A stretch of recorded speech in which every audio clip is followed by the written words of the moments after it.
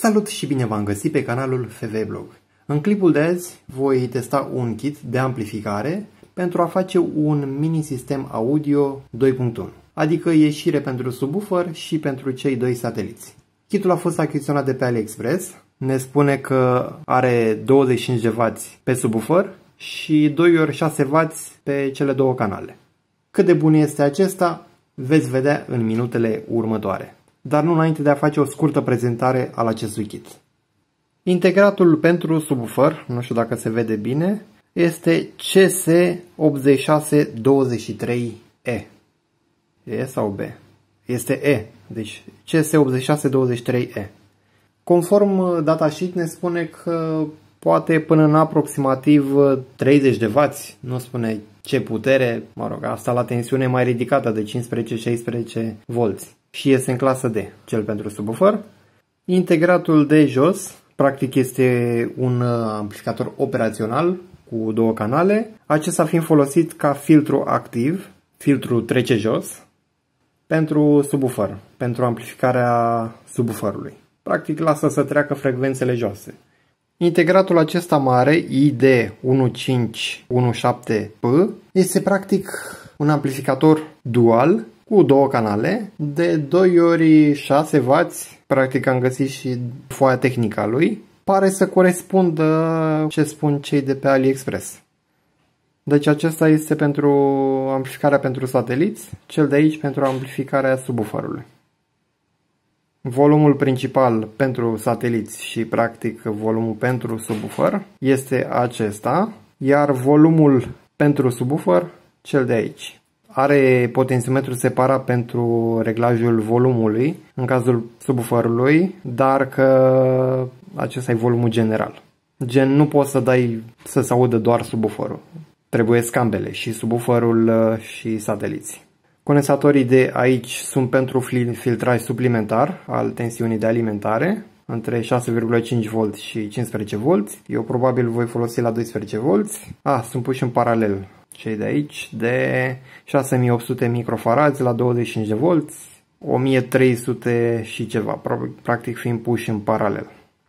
Condensatorii de aici sunt puși pe ieșirea fiecărui canal în parte pentru sateliți. A, nu v-am spus. Acest integrat ID1517 este amplificator dual în clasă B. Clasă B. N-am mai întâlnit.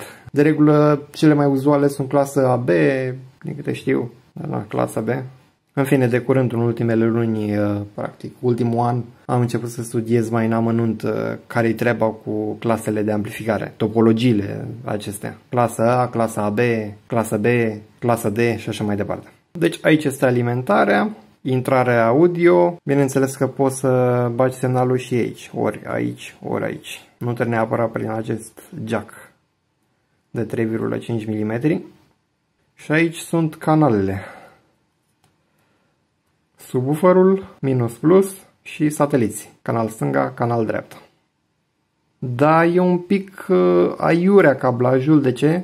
Pentru că practic eu aș fi lungit în zona asta și aș fi făcut notațiile chiar lângă conectori, cum fac eu de obicei. Așa ar fi fost mult mai ușor să depistezi unde să conectezi. Păi gata cu vorba, haideți să trecem la teste practice.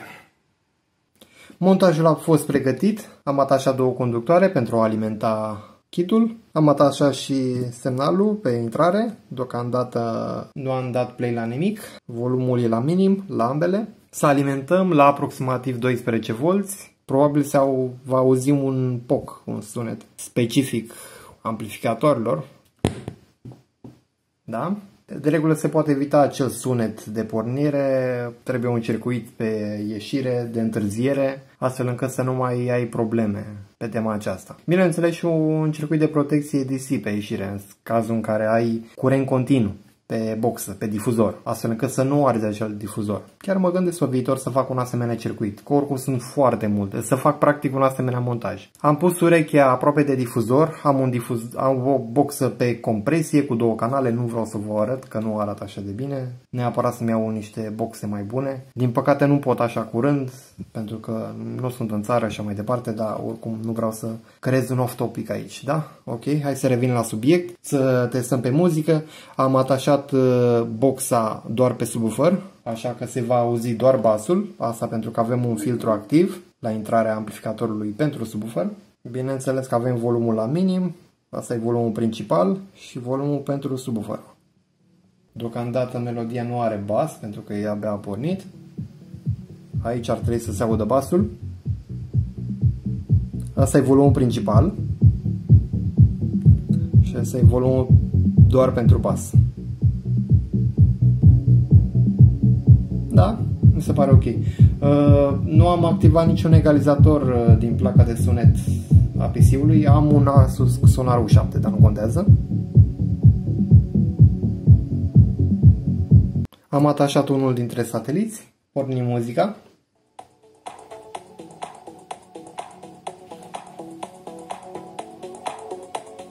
Hai să dăm mai departe muzica, aici nu are bas.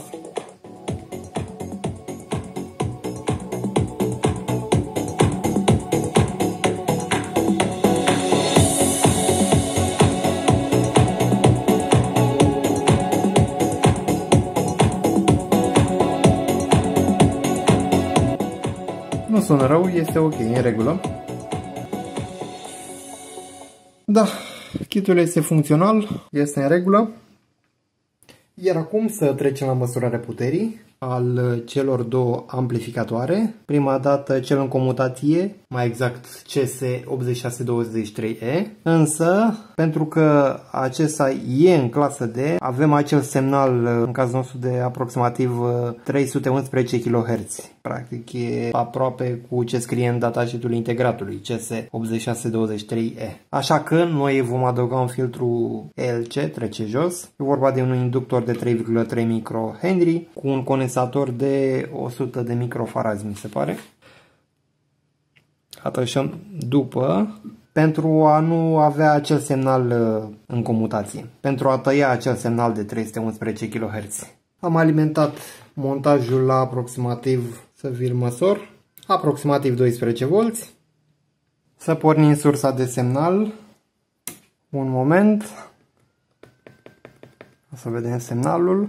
Aș fi putut să bag semnal în acel CS după filtrul activ, dar nu vreau să mai fac anumite artificii. Ah. Așa că o să fac în felul următor, chiar dacă nu prea e corect, o să măsor puterea cam la 60 Hz. Asta pentru că acel filtru activ, la peste 60, cred că peste 100 de Hz, taie semnal pentru că e filtru activ. Trece jos, vă dați seama. Da, sta să măresc frecvența, să vă arăt că acel semnal scade. Avem 5,6 V vâr la vârf și la peste 80 și 90 o să scade. Da? Asta pentru că e un filtru trece jos, e normal. Iar eu o să măsor puterea reală, să sperăm că o, o să fie în regulă, pe undeva pe la 60 de Hz. Hm, pe undeva pe aici. Să vedem unde intră în clipping. Pe 4 ohmi avem momentul de față și la tensiunea de cât ați observat de 12 V. Da, aici distorsionează semnalul sinusoidal. Aerotunjim la aproximativ 22 de V vâr la vârf. Iar acum să vedem și pe o impedanță de 8 ohmi. Să vedem aici unde intră în clipping.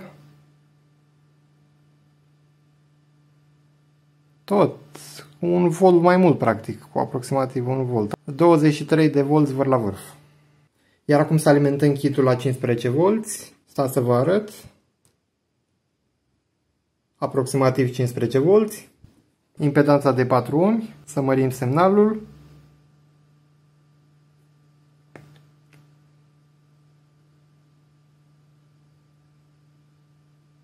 A intrat în clipping aproximativ 24 de volți vâr la vârf.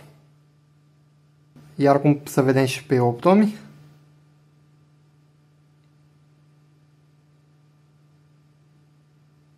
A intrat în clipping, pe undeva pe aici. Aproximativ 27 de volți vâr la vârf. Iar acum să măsurăm puterea pe integratul YD1517P, cel pentru amplificarea sateliților, cele două canale. Am alimentat montajul la aproximativ 12 V. Sta să vă arăt. Da, 12 V. deocamdată pe impedanță de 4 ohmi, sunt două de 8 ohmi fiecare în paralel. Am pornit sursa de semnal la 1 kHz, cum se măsoară de obicei, deoarece în cazul acesta nu mai avem filtru pe intrare. Să mărim semnalul. A intrat în clipping. Hai să spunem pe undeva pe la 9 V vâr la vârf. Iar acum să vedem pe impedanță de 8 ohmi. Să mărim semnalul. Aproximativ 10 V vâr la vârf. Să măsurăm și la tensiunea de 15 V. Da, aproximativ 15 V. Impedanță de 4 ohmi. Mărim semnalul. A intrat în clipping.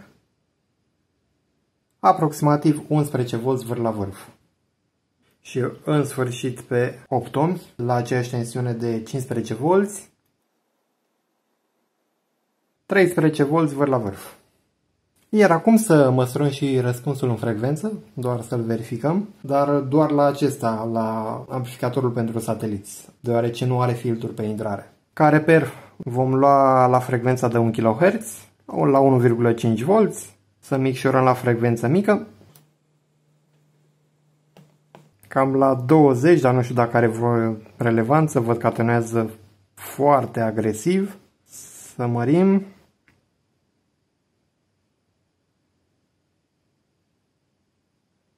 începe să-și revină de la 50-60 de Hz.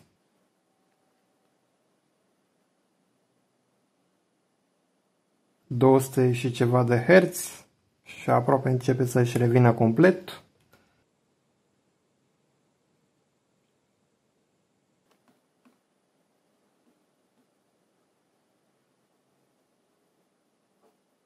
Da, deci începe să atenueze de la frecvența de sub 900 de Hz. Mai mult ca sigur ar, fi trebui, ar trebui schimbați acei condensatori de 220 microfarazi de pe ieșire. Cu unii mai mari, măcar de 1000 de microfarazi minim. Ok, la 2,76 de kHz, 6 kHz, 10 kHz, 1,5 V la vârf. Nu e rău deloc. Chiar deloc.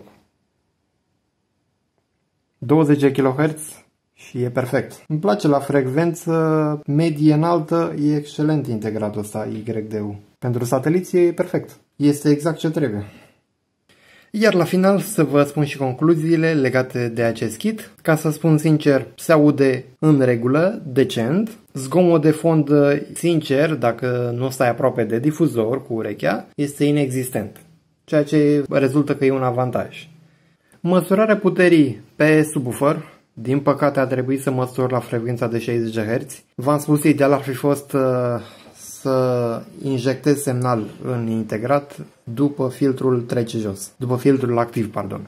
Din câte se observă, dacă alimentăm la 12 V, avem pe 4 ohm 15 W, puterea reală, pe 8 ohmi 8 W, dacă alimentăm la 15 V, avem 18 W pe 4 ohmi și 11 W pe 8 ohmi. Da, nu se apropie de puterea de 25 de W, cum spune, dar consider că la cât de mic este acel integrat, este foarte bine.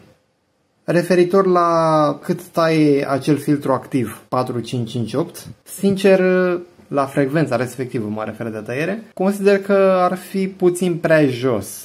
Eu aș tăia un pic mai sus. Bineînțeles că am făcut în joacă și un grafic, am măsurat cât de cât, cu ce am avut eu la îndemână și din câte se vede, la peste 60-80 Hz începe să atenueze. Eu aș tăia un pic mai sus. Sau dacă aș fi mai pretențios, eu aș face un filtru activ trece jos cu frecvența reglabilă însemnând că un potențiometru pentru reglajul volumului, iar al doilea pentru reglajul frecvenței de tăiere. Dar, în fine, la ce va fi folosit acest kit, consider că este foarte bine.